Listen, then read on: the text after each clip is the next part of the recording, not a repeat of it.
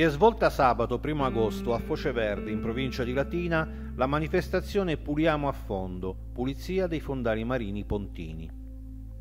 La manifestazione è stata organizzata dall'Associazione Noi e il Mascarello e dal Circolo Subacqueo Astrea di Latina, coadiuvati dalla Sogine SPA, ente gestore della dismissione della centrale nucleare di Latina, presso la quale si è svolta la conferenza stampa dell'evento.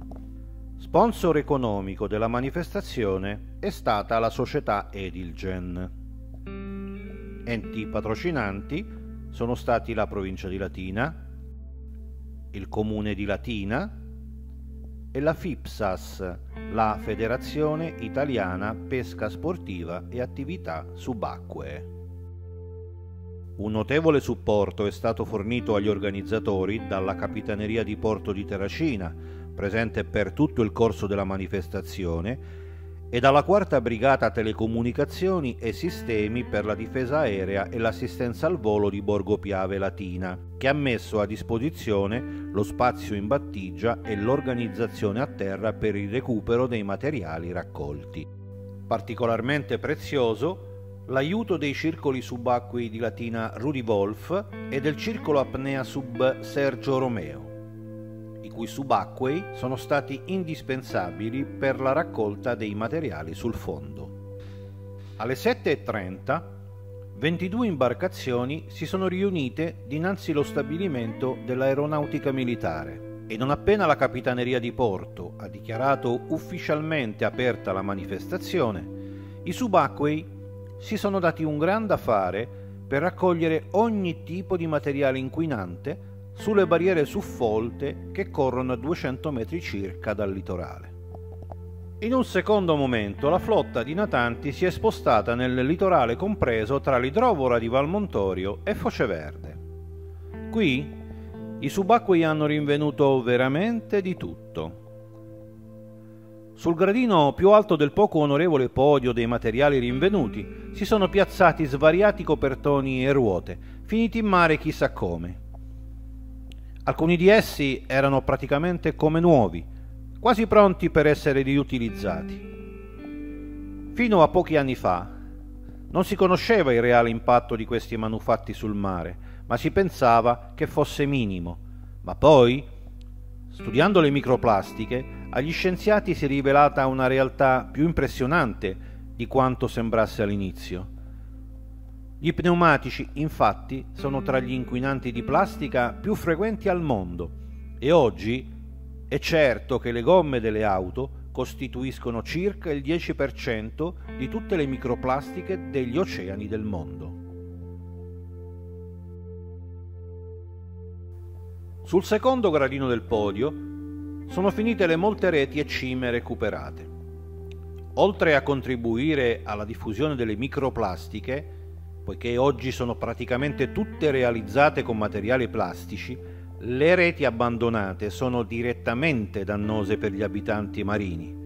Una rete incagliata sul fondo continua infatti a pescare in eterno. Ed infine, il terzo posto del podio del disonore se lo è guadagnato una bombola di gas, se non altro per le difficoltà che ha imposto il suo recupero dato il suo peso e la profondità a cui era posta.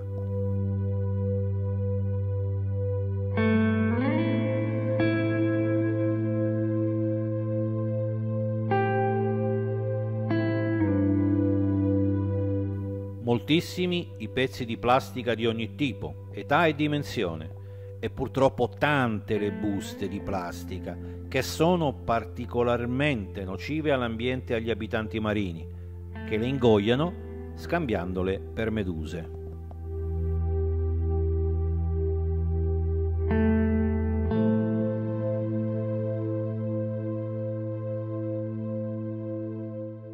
Ed è da rimarcare il fatto che la raccolta è stata limitata ai primi 7-8 metri di profondità per motivi di sicurezza e trattandosi di subacquei in apnea, anche se tutti molto esperti e certificati.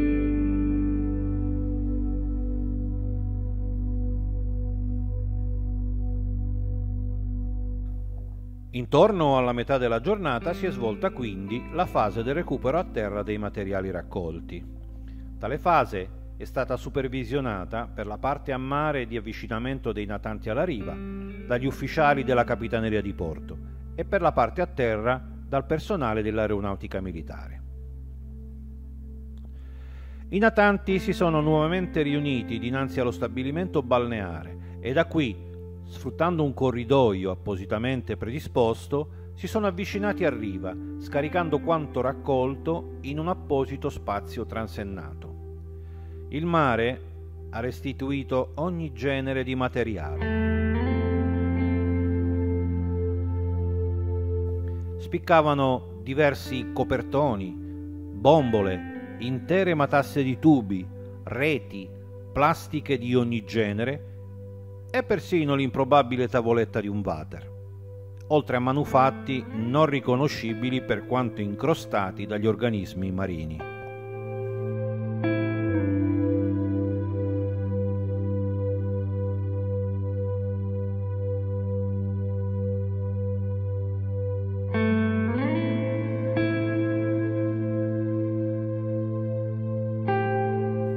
In particolare è stata raccolta un'enorme matassa composta da un groviglio di cime e molte sezioni di tubo collegate. Gli organizzatori hanno spiegato ai curiosi che si trattava di un metodo illegale per la cattura dei polpi. Dopo qualche esitazione iniziale, la curiosità dei bagnanti ha avuto la meglio e gli organizzatori hanno dovuto faticare non poco per far rispettare le regole anti-Covid, anche perché erano in distribuzione dei gadget, quali magliette e cappellini, in ricordo della manifestazione. Tutti i materiali sono stati quindi portati in prossimità della strada, dove gli addetti del servizio rifiuti della BC di Latina hanno provveduto a prelevarli e ad inviarli a smaltimento. Infine, verso le 13.30, la Capitaneria di Porto ha dichiarato chiusa la manifestazione. Il coordinatore dell'evento, Maurizio Scalia, e i presidenti dei due circoli organizzatori, Nadia Romana Roma e Vincenzo Ferrante, si sono dichiarati molto soddisfatti della riuscita dell'evento e hanno tenuto anzi a precisare che questa è solo la prima fase del progetto Puliamo a fondo. Tutto il materiale video fotografico raccolto servirà infatti per realizzare un documentario che verrà portato nelle scuole di tutta la provincia di Latina il prossimo anno scolastico, con il fine di sensibilizzare gli studenti al problema dell'inquinamento marino e delle plastiche. Infine, la terza ed ultima fase prevederà un convegno che si svolgerà nella città di Latina.